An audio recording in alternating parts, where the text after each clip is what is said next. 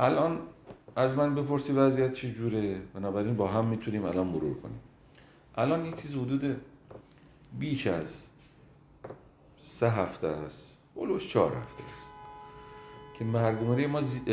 می‌کنم. میزان بستری ما زیر هزار تاست اولوش 500 تا 400 تا 600 تا 700 تا 800 تا هم رسیدیم میانگین هلوش 700 تاست به همین دلیل شما الان نگاه می‌کنید مرگ ما هم چقدره همین هلوشه هلوش 10 درصد اینه.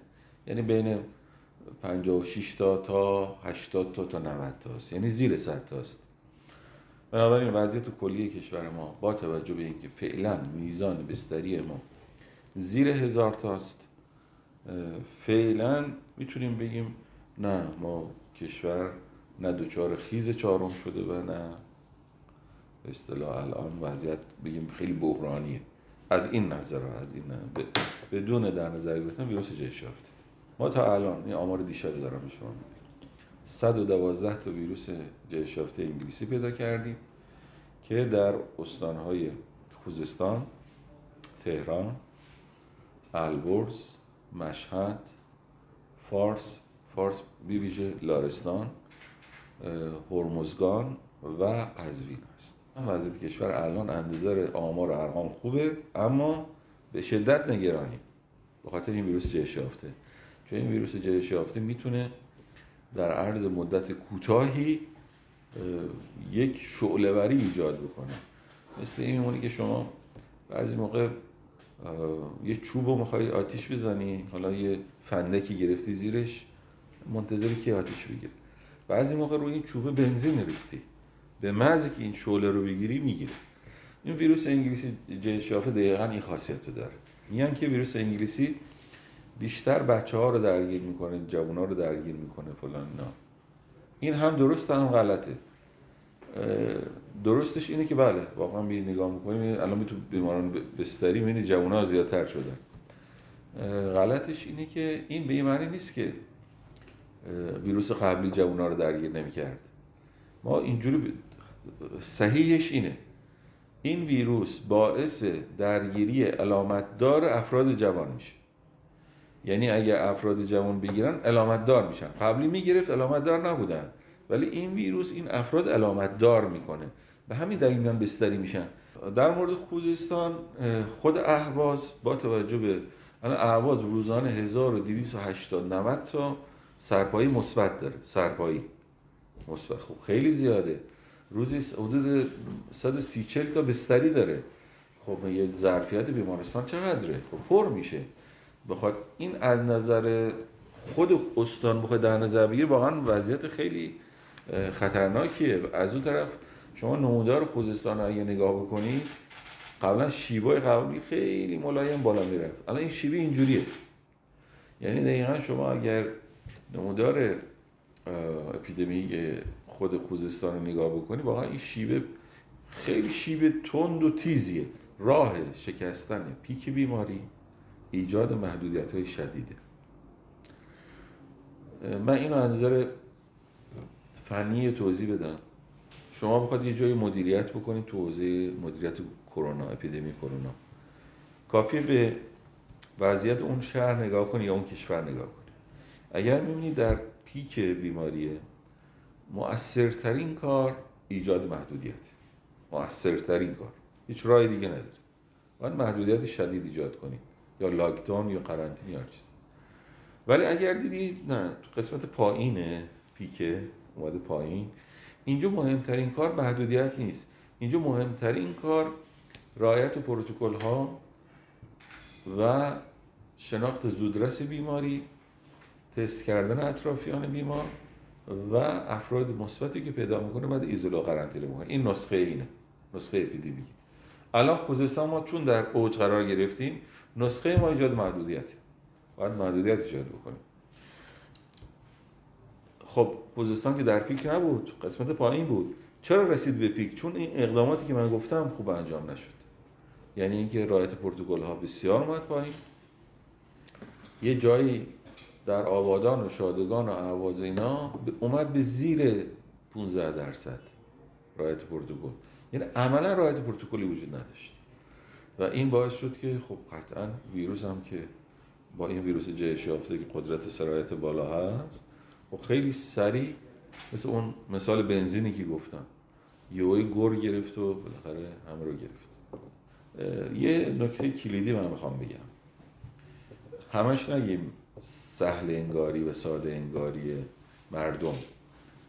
باید یه واژه دیگه رو خیلی روش تاکید بکنیم. سهل انگاری و ساده انگاری مسئولین. خیلی مهمه. از مردم مهمتره. یعنی ساده انگاری سهل انگاری مسئولین مسئولین محلی و حتی ملی. اینها می‌تونه القا کننده عدم رعایت پروتکل باشه. الان حتی بعضی از استان ها شهرستان ها فرموندارا یه خورده مثلا شل شدن نسبت به قبل که اون هم قبلا تو میدون بودن. یه خورده شل شدن.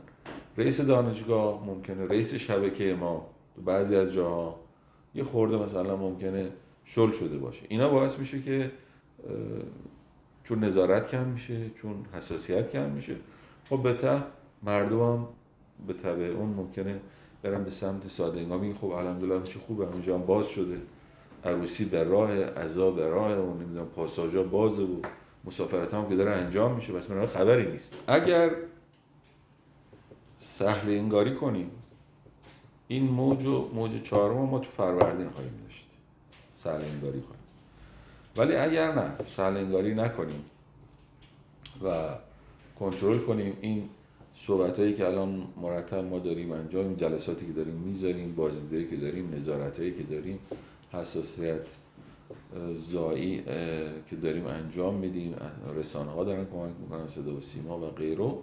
خیلی خیلی امیدواریم که این پیک اصلا شکل نگیره. و انشالله اگر ما بتونیم همونجور که گفتم اینو ما سه چهار ماه عقب بندازیم بعد یه اتفاق بسیار خوب و مبارک میفته و اونم اینه که ما واکسیناسیونمون گروه حساسمون انشالله واکسینه می‌کنیم ممکنه میزان ابتلا در کشور با تأخیر بیاد پایین.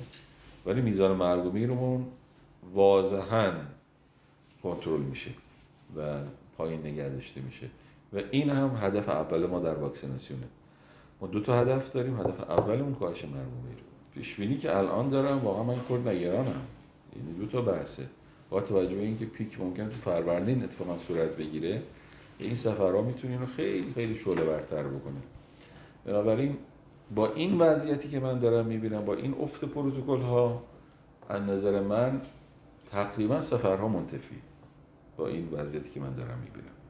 مگر اینکه تو این دو سه هفته باقی مانده رایت پروتکل خیلی بالاتر بره وضعیت کشور وضعیتی باشه که بالاخره ما تعداد شهرهای آبیمون خیلی زیاد بشه که الان داره روز بروز کمتر میشه. و ما بر اساس اون محدودیت هوشمند اقدام خواهیم کرد. یعنی ما اجازه نخواهیم داد به اصطلاح شهری که قرمزه یا نارنجی کسی واردش بشه. اصلا اجازه نمیدیم. و حتی شهرهای مسافرپذیری که زرده اونم اجازه نمیدیم. بنابراین چیزی نمیمونه. اگر تعداد آبیان داره خیلی کم میشه. بنابراین باید واقع نگر باشیم. می‌دونم خیلی شرایط روی روانی خیلی سختی به مردم وارد شده. الان تقریبا سه تا اید هست که مردم جایی نرفتن. تو اید قبلی که کرونا بود اید قبل از اونم سیل بود کسی جایی نرفت. و این ایدم خب امید داشتیم بالاخره وضعیت الان با این وضعیت ویروس جای شافته و این بحثایی که وجود داره من خودم کم کم دارم به این نتیجه می‌رسم که با این شرایط با این وضعیت ما نمی‌تونیم اون پیشنهادات رو مصوب بکنیم اصلا. پیشنهاداتی که داده شده در مورد سفر هوشمند یا سفر سلامت یا بحث اینجوری. اینو با این روند فعلی اگه از من در یک کلمه پرسی من میگم منتفی نمیشه انجام. من به نظر من که اصلا نباید الان کسی بر رزرو کنه. پیشنهاد من اینه. چون یادمون باشه ما در یک جنگی هستیم که واقعا غیر قابل پیش بینیه ما مرتبا داریم میایم جلو برای کنترل بیماری یه جایشی صورت میگه اتفاقی میفته و قبول بکنیم. تا زمانی که ما واکسیناسیونمون به حد کافی نرسیده و واکسیناسیون کافی انجام ندادیم واقعیتش هر لحظه ممکنه منتظر باشیم یه خبر جدید از ویروس بیاد یه تغییر رفتاری از ویروس بیاد و ولی مهمتر از تغییر رفتار ویروس تغییر رفتار خودمون هست. اگر ما می‌تونستیم کنترل بکنیم تا الان واقعا پیش بینی ما این بود که ما می‌تونستیم دو نوع سفر رو اجازه بدیم انجام بشه. شماره یک این بود که افراد با تور ثبت نام بکنن چون هم حمل و نقل اینها کنترل شده است هم محل اسکانشون کنترل شده است. بعد می‌تونستیم حتی یه شرایط سختگیرانه بذاریم حتی تست بدن فرض کنید. این شماره یک. شماره دو این بود که افرادی هستن با وسایل خودشون میرن. منتها با تور هم کردن با حال اسکان ایناشون تحت کنترله اینجا قابل کنترل بود و می‌شد. یه حالت سومی داریم که افراد با ماشین خودشون میرن خونه قوم خیش تو ویله های خودشون خونه خودشون جای دیگه. این غیر قابل کنترل. یه حالت چهارمی داریم. افراد با ماشین خودشون میرن یا با وسیله هم نقل عمومی میرن چادر می‌زنن و تو پارک و که اینو کلا امسال ممنوع کرد پس مشکل ما با گروه شماره سه هست که همواره اینا غیر قابل کنترلن. مگر اینکه تو حوزه محدودیت هوشمند اینا رو بیاریم که جایی که قرمز و نارنجی اینا اصلا حق ورود ندارن به اون شهر. به همین دلیل من فکر بکنم توصیه من اینه که دو تا توصیه دارم در این اگر واقعا ما بتونیم همه دست به دست هم بدیم پروتکل ها رو تو این دو هفته باقی مانده تا اون تاریخی که من می‌خوام بگم. تو این دو هفته باقی مانده خیلی خوب رعایت بکنیم. خب میشه این شماره یک و دو رو اجازه داد و انجام بشه. ولی اگر خدای نکرده نتونستیم این کار رو بکنیم واقعا امکان پذیر نیست سفرها. و ما مجبوریم دوباره یعنی جون مردم و سلامتی مردم. یعنی من ترجیح میدم که بچه های خودم نمی‌دونم خانواده خودم سال دیگه سفر برن ولی باشن. تا که امسال بخوام سفر برم و خدا نکرده بلایی سرشون بیاد و اینا. و خب این خیلی دردناکه. به همین دلیل من توصیه اینه که چون ما سال آینده این امیدم بدیم. سال آینده به هر صورت ما مطمئن باشید. ما سال 1400 ما واکسیناسیون کشور رو کامل خواهیم کرد.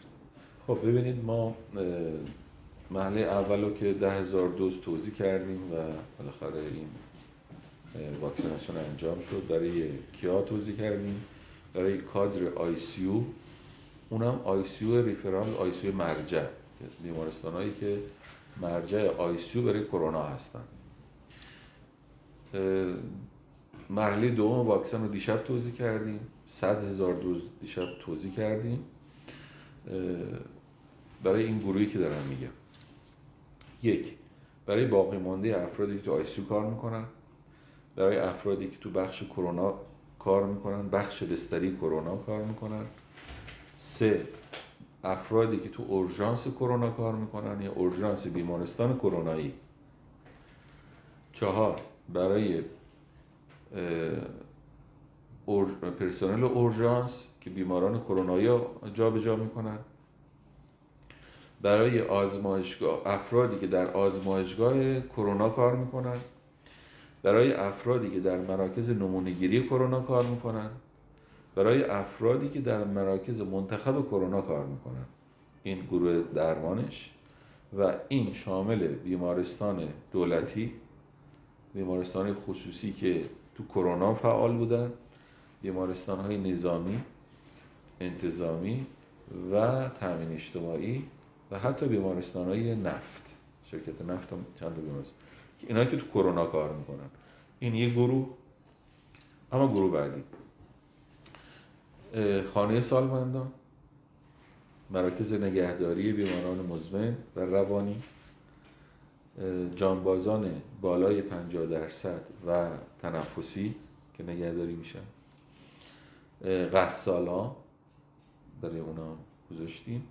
این گروه در حقیقت اولویت هایی بود که تو این دور تو این دوره بله بینات اختصاص دیشب توزیع کردیم این سراسر کشور.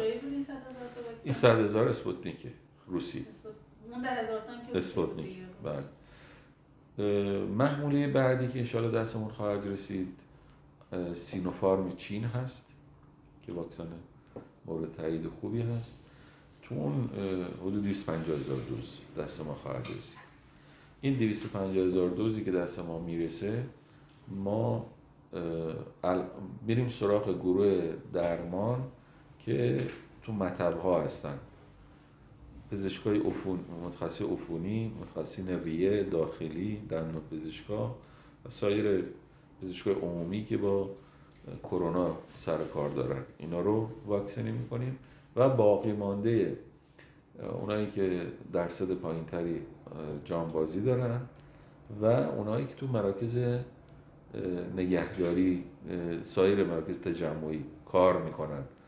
فرض کنید زندانبان ها اونایی که تو مراکز سربازخانه ها و اینا دارن کار می‌کنن و حضور دارن و قسمتی از افراد سالمند اما واکسن بعدی که منتظرش هستیم دستمون برسه که احتمالا شاید اواخر اسفند یا تو فروردین دست ما برسه. نه آسترازینکا هست.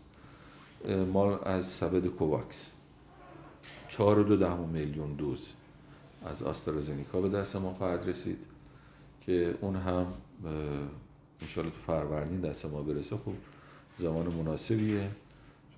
حجمش هم حجم مناسبیه که قصدمون اینه که افراد سالمند و به طور عمده ببریم رو افراد سالمند و بیماری زمینی که گفتم 16 تا 64 سال هست بعد از اون خب ما واکسن پاستور ما که اواخر اسفند در حقیقت فاز سهش هست دیگه مثل واکسیناسیونه داریم شروع می‌کنیم و شاید دیگه تو اردی بهشت اواخر اردی بهشت که ما یه 4 میلیون آسترازنکا هم دیگه زدیم تو اون موقع از اواخر اردی بهشت دیگه واکسن داخلی کم کم سر کلشون پیدا میشه.